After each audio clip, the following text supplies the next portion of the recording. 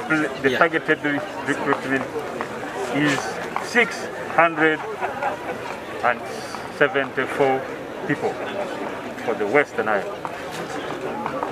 So I'm sure the number, the turn-up is very good, and we may get the required number to fill the gaps in the security, fill the security gap. But the most important issue in this recruitment is to have a peaceful and secured environment in Western Nile.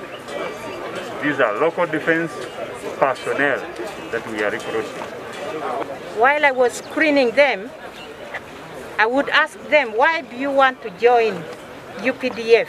Some would tell me things are very bad at home. Some would tell me, uh, I want to serve my country. And I would say, well done.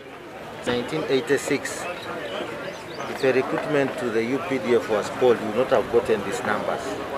And now because UPDF is a professional army, it's a disciplined army, some of us are going to be disappointed. We shall not be taken through. But I want to encourage you, it is not the end of the world. The mere fact that you've come up and want to be part of this, you're already a victor. If you get the opportunity to serve the country, serve the country diligently.